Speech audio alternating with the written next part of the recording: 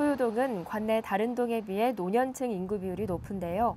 이에 맞게 소유동 주민자치센터는 어르신 프로그램을 운영하고 있습니다. 특히 지난해 4월 60세 이상 어르신들의 건강 증진과 여가 기회 확대를 위해 실버 댄스반을 개설했습니다. 그런데 신설된 지 불과 1년 3개월밖에 되지 않은 실버 댄스반이 단결된 모습과 열정으로 관내외 행사의 무대를 주름잡고 있다고 하는데요. 우리 실버 댄스는 80대, 70대, 60대 이 나이대에서 모여서 이렇게 운동하는 그런 모임입니다. 우리 소유동 실버 댄스는 어, 우리 동장님의 특별한 음, 관심과 배려로 잘 이루어져 나가고 있고요.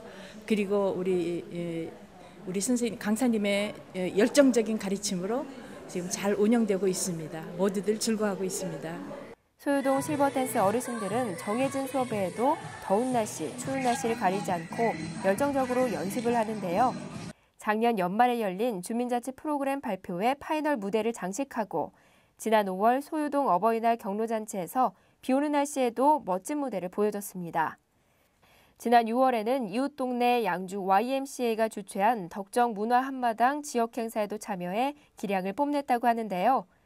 할머니들이 이렇게 열정으로 너무너무 아주 그냥 힘차게 해주셔가지고 동네에 소문나고 아주 각동에서 난리가 났습니다. 그래서 우리는 지금, 지금부터 인생을 즐겁게 살자 하고 아주 다짐하면서 선생님이 가르침에 따라서 열심히 하고 있습니다. 아, 어, 우리 실버 댄스반 어르신들이 굉장히 열정적이세요. 그래서 열정을 갖고 우리 실버 댄스 열심히 하시고 계시거든요. 그래서 동아리 활동도 참 열심히 하세요. 그래서 음, 어, 문 재능 기부 같은 것도 많이 하시고요. 이번에도 행사 나가가지고 1등상도 받고 그러셨습니다. 얼마 전 6월 21일에는 동두천시 양성평등주간 제21회 기념행사 시민 장기자랑에 참가해 관중들의 인기를 독차지하며 스타상의 영광까지 안았다고 합니다. 종횡무진 활발한 영향을 펼친 이 어르신들의 연세가 무려 60대부터 80대까지 그야말로 은빛 청춘인데요. 처음보다 많은 우리 회원들이 건강해졌다는 사실입니다. 이것이 곧 우리의 자랑입니다. 벌써 정신부터 어, 맑고 정말 다리가 아프고 허리가 아팠는데 그것도 다 나았고 정말 1년 동안에 너무 행복하다고 지금 우리가 선생님 더불어 우리가 행복했다고 칭찬 많이 하고 있습니다.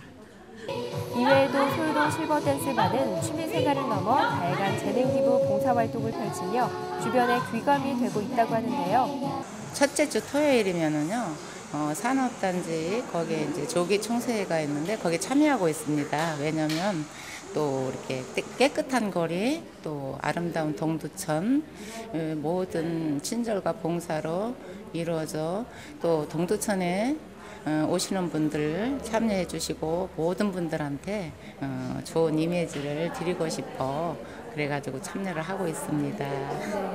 건강도 챙기고 주변의 이웃까지 살피는 진정으로 멋진 소유동 실버 댄스반. 앞으로도 화려한 은빛의 청춘 라이프 만끽하시기 바랍니다.